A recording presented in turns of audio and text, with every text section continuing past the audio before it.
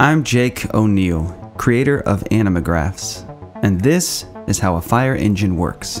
There are many possible model variations for different needs, so I've chosen to focus on a fairly standard pumper truck, designed to transport crew, tools, water, and pumping capabilities to the scene of an incident. First, let's have a look around the exterior. Warning lights, designed to alert drivers for safe fire truck passage, can be changed to steady beams for proper scene illumination when arriving at a destination. The pump on this truck is located midship, though front or rear mount pumps are also possible. Ample rear storage compartments turn this rig into a mobile tool shed. There are folding steps on the back for roof access, where the hose bed, ladders, and more tools reside. Coming around to the front, there's an electronic speaker for various warning sounds, a pre-connected hose for quick access when responding to smaller incidents like trash or car fires, there are loud air horns that can sound as needed by the driver, and a federal Q siren, which is a mechanical device that produces the classic familiar wailing sound.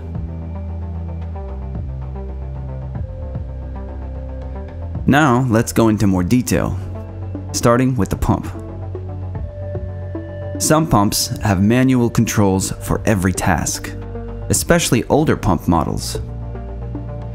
The intake pressure gauge is a compound gauge, meaning it can show values below atmospheric pressure, or vacuum conditions, when sucking water up from a pool or mobile tank, or positive pressure when connected to a pressurized source, like a fire hydrant.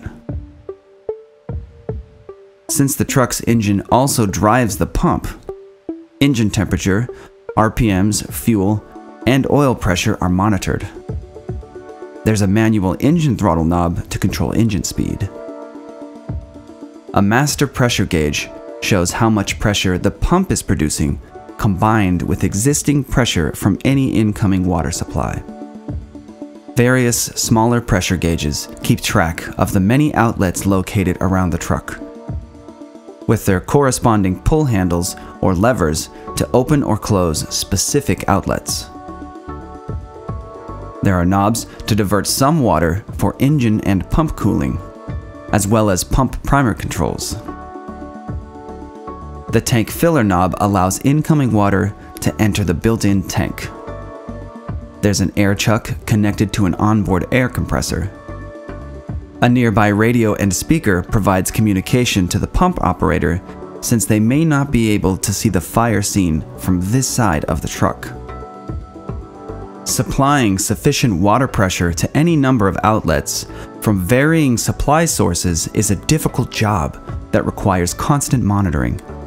So, pumper trucks may have different levels of automation to aid the pump process. A digital panel can automatically monitor engine vitals while also altering engine speed to keep pump pressure constant. Electrically controlled valves can automatically adjust to keep pressure at desired levels for specific outputs. And some of the newest systems are highly automated, allowing a crew member to divert attention to other firefighting tasks. This particular pump is a centrally located midship design. It's powered by the diesel engine through the drive shaft.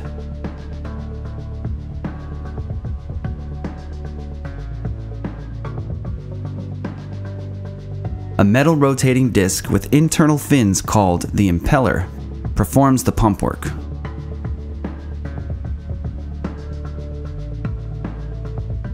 The pump is rated up to 3,000 gallons per minute, which is about 71 average sized bathtubs full of water every minute.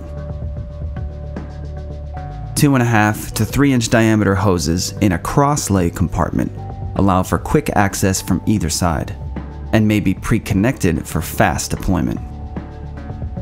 A smaller 1.5 inch booster hose on a reel can be deployed for small fires or used to wash hazardous substances from a fire scene or firefighting gear after an incident.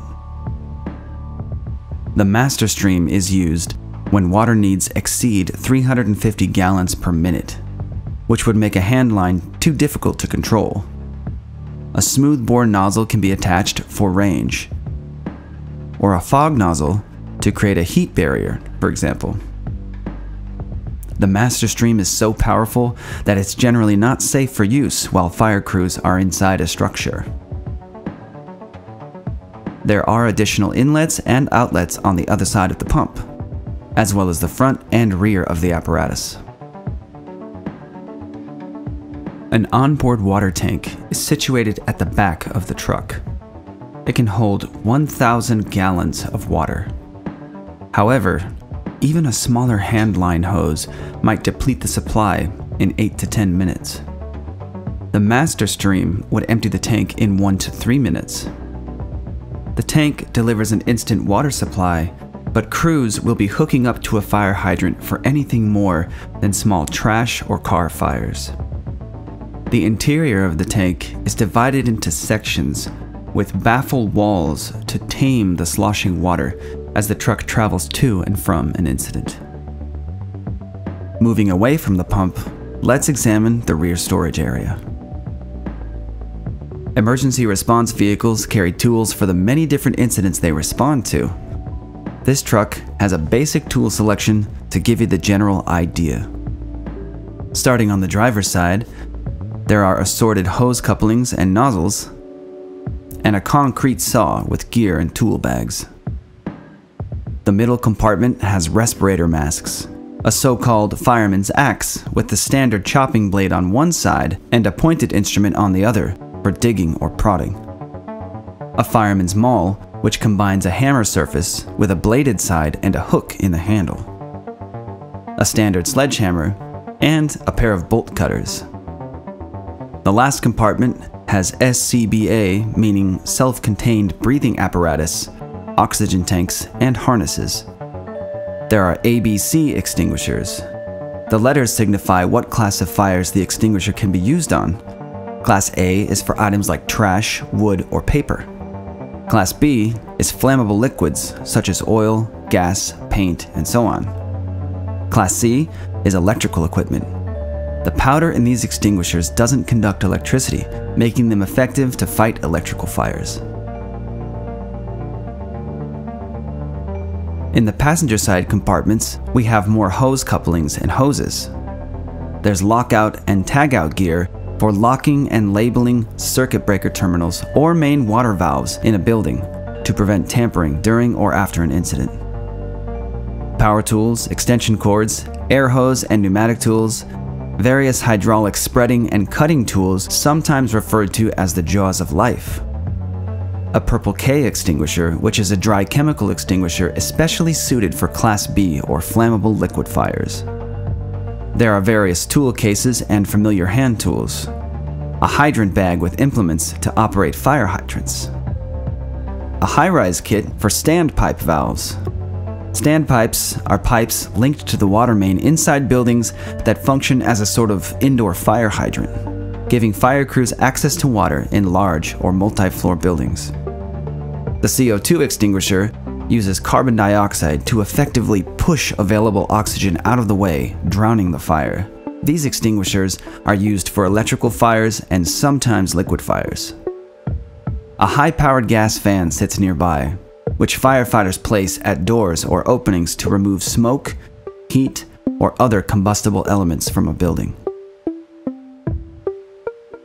On top, there's hose beds for storing various hose diameters and lengths.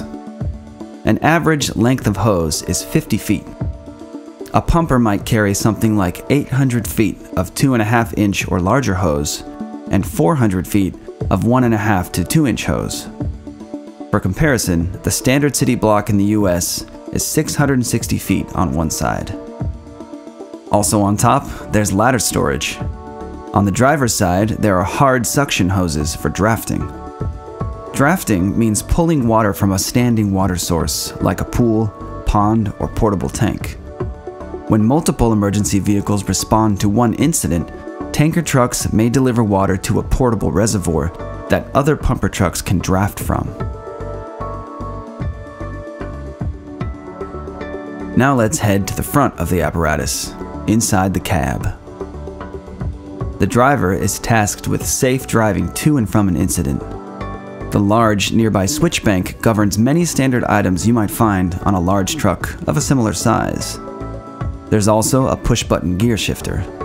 A central panel with a screen monitors truck specific functions but can also control many additional presets, for example, for different external lighting schemes.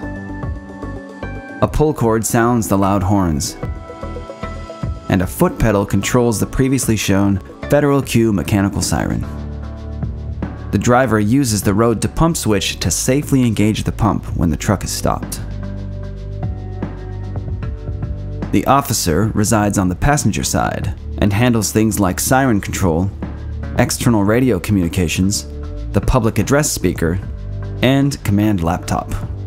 There's also an officer's side speedometer. Crew members sit in special fire seats with a bracket and support padding that allows oxygen canisters to be safely worn while riding to an incident. Brackets overhead stow firefighting hard hats. There are headsets for communication, handheld radios, and flashlights for crew members.